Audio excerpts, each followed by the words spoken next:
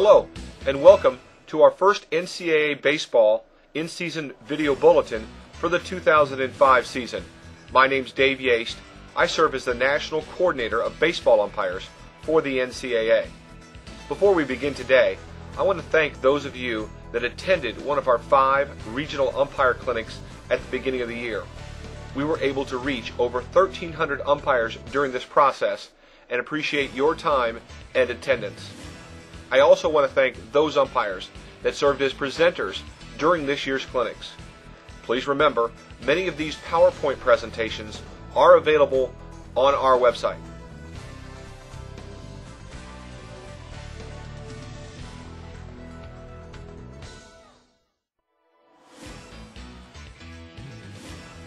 Let's start the clips with some good habits from our umpires. This first is pretty basic, but note the good set position and focus by our first base umpire.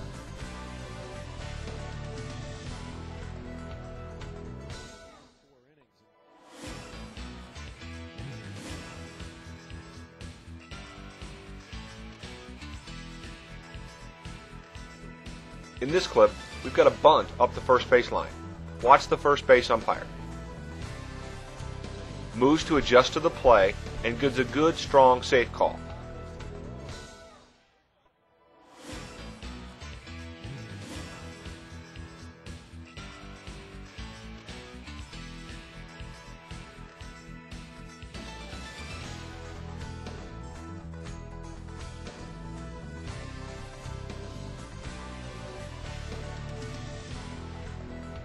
On this play, we have a runner on first base only. We have a deep fly ball to center field. U1 goes out on this fly ball, and U3 slides to first base for his responsibility on a R1. Note the position of all three umpires at the conclusion of this play.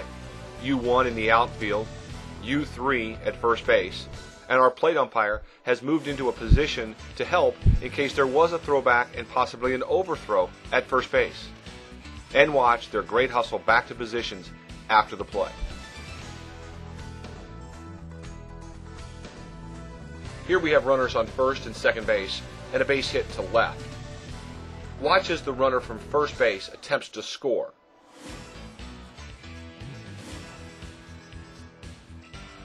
Note the contact between the runner and the catcher. Is this flagrant? Does this deserve an ejection? Our answer is no. This is not a flagrant collision, and the offensive team should not be penalized by ejection of this player.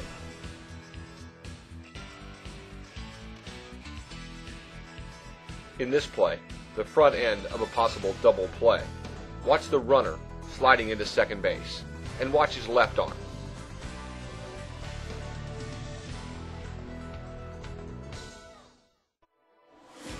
We believe that this should be forced play slide rule interference due to the action of the runner and his attempt to grab the shortstop's arm.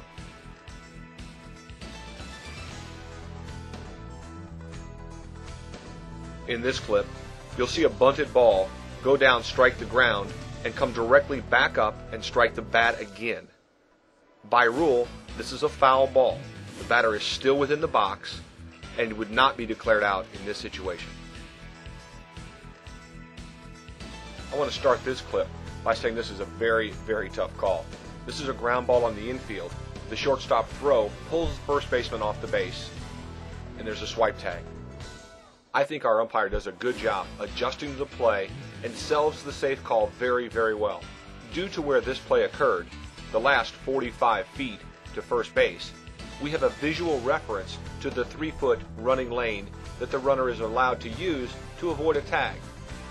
We believe that this runner is out of the base path and should have been declared out.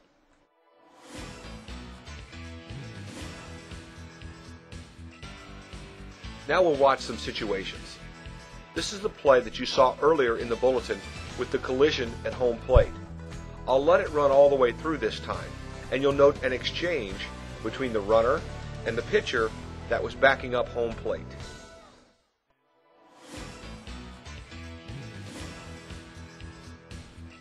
All of our umpires did a good job in this situation. Our plate umpire steps in between the catcher and that runner, and our first base umpire comes in and talks with the pitcher. This situation is much more subtle. Watch this inside pitch and the batter attempt to get hit by it. The catcher takes exception, and during this clip where you can't see it, is having words with the batter. Watch our plate umpire intervene. This is a great job of recognizing a situation and acting proactively.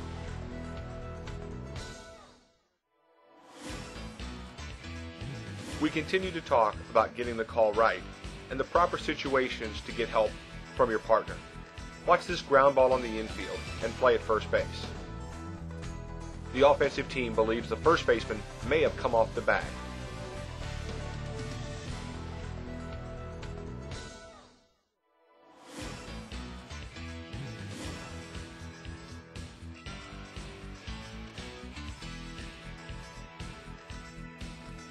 Coach comes out, confers with the base umpire, and they go to the plate umpire and ask for assistance. This is handled perfectly in this situation. This last situation is the argument that occurred after the play that you saw earlier in the bulletin with the runner possibly being out of the base path. We think that the umpire handled this part of the argument very well the coach comes out fairly aggressively, and the umpire even has to wipe spit off of his face because the coach is so close. He attempts to walk away, the coach follows. The coach begins now talking about other plays in the game and balls and strikes. He's warned and then ejected. Our umpire walks away as we instruct. Watch what happens as the coach follows the umpire. There's no question in my mind that there was contact in this situation between the coach and the umpire. It's just hard to determine whether this was a bump initiated by the coach or the umpire stopped and the coach then bumped into him unintentionally. After discussing this situation with our coordinators on our monthly conference call, we'd like to point out a few do's and don'ts in this situation. First, I want to again commend this umpire. He gave the head coach every opportunity to walk away and end this argument before he had to eject him. And then after the ejection, he again walks away and the coach follows.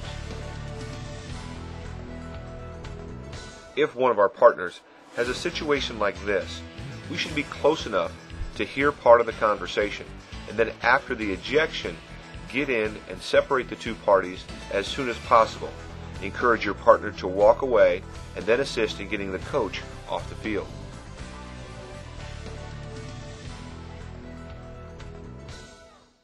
If you are involved in a clear bumping incident or any other act that would fall under Rule 516B, physical abuse of game officials or umpires, they must be reported on a suspension report form to your coordinator, the athletics director of that institution, and the conference commissioner.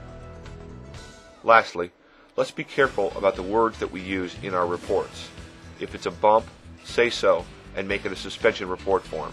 If it's not, you can use incidental contact as the correct term.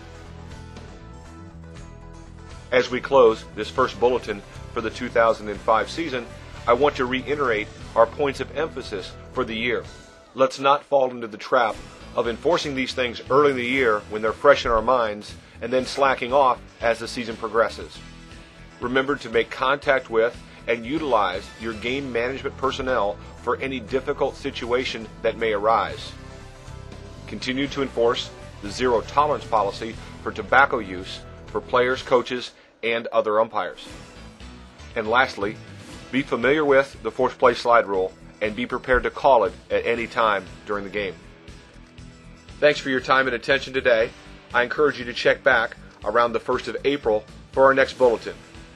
Please remember, all rules questions should be sent to baseball at ncaa.org. Continue to work hard and have fun.